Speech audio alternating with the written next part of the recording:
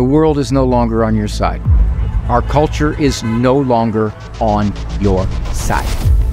We're not battling against physical things, but of spiritual powers, of spiritual demons that are trying to take our children away from us.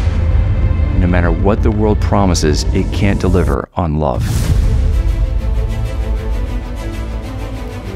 Each person was made by love and for love. And marriage is meant to be a sign of God's love for the world.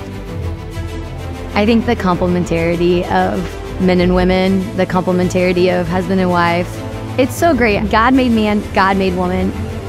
The husband is called to be the primary source of watchfulness to protect that family. He provides a shelter, a shelter from the evil forces we have a, an incredibly shallow understanding of what it means to be woman, but there's something much deeper and richer.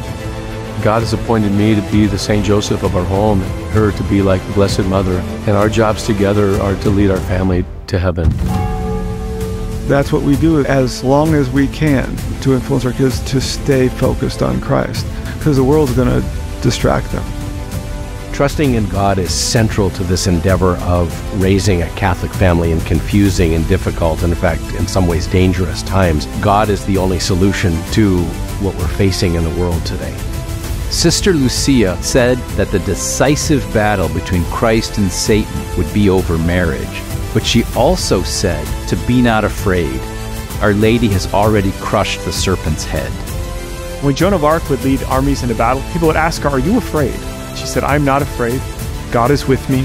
I was born for this. And friends, that's true for you, and that's true for me. We were born at this time and in this place for our good and for God's glory.